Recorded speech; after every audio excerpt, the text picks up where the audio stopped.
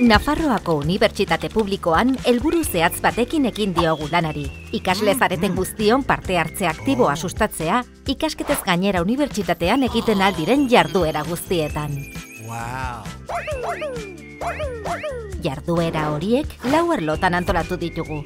Ordezkaritzaren, kudeaketaren eta ebaluazio instituzionalaren arloa. Ikasleon ordezkaritza jarduerak biltzen ditu, eta zuek unibertsitatearen gobernu organoetan parte hartzearekin lotutakoak.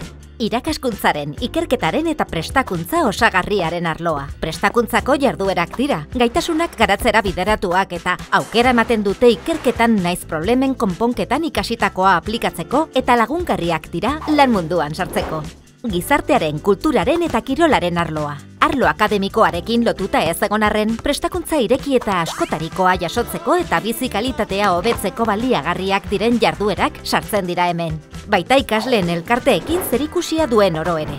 Lankidetzaren eta voluntariotzaren arloa. Unibertsitate barneko voluntariotza ez ezik, gizartera begirako proiektzioa duten jarduerak ere piltzen ditu.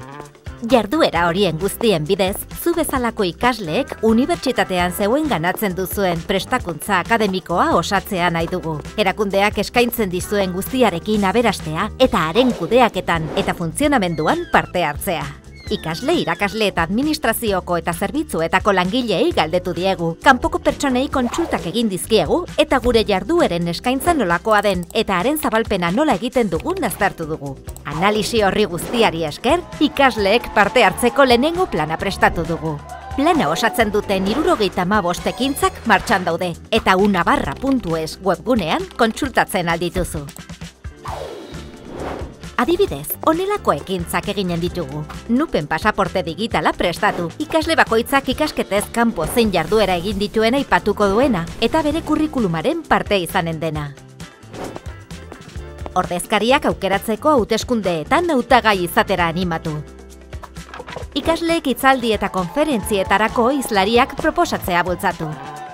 Ikasleekiko komunikaziorako bideak hobetu, ikasketez kanpoko jardueren eskaintzari dagokionez ikasleentzako topaguneak eta parte hartzerako espazioak sortu.